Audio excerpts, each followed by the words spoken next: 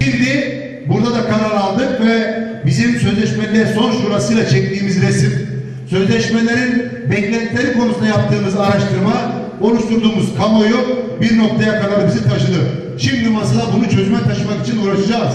Bunun içerisinde Odunpazarı Belediyesi başta olmak üzere Antalya'dan tut da Bozüyük'e varana kadar, Bilecik'e varana kadar dolayısıyla Adana Belediyesi'ne varana kadar özellikle CHP'li ve İyi Partili, HDP'li belediyelerin 31 Mart'ta seçimleri aldıktan sonra 31 Aralık'a gelmeden sözleşmenin eline iki tane yazı tutuşturup görünen yüzüm üzerine sözleşmeniz yenilenmeyecektir diyerek güvencesiz bir şekilde sokağa bıraktı ve işten çıkardığı kamu görevlileri başta olmak üzere bu anlamdaki haksızlığın önüne geçmek için mücadeleyi sürüyoruz, sürdürüyoruz.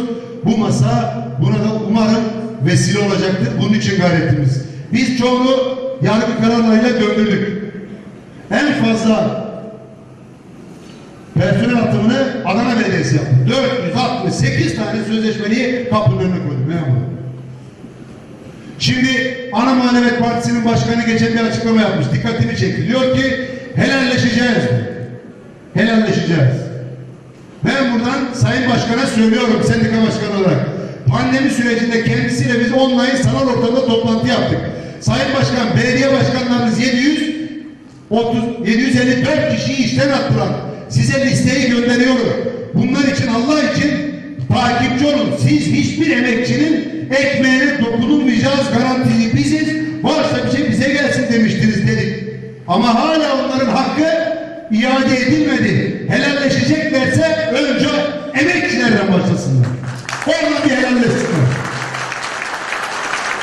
24 Kasım'da herkes öğretmenlere ilişkin cümle kuracak.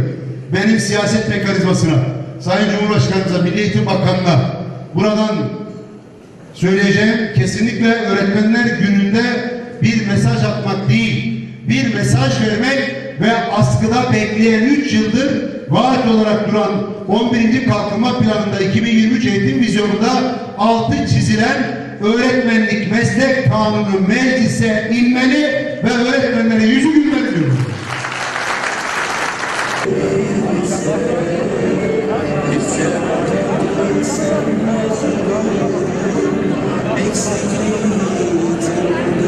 Daha fazla video izlemek için kanalımıza abone olabilir, ilk izleyen olmak isterseniz bildirimleri açabilirsiniz.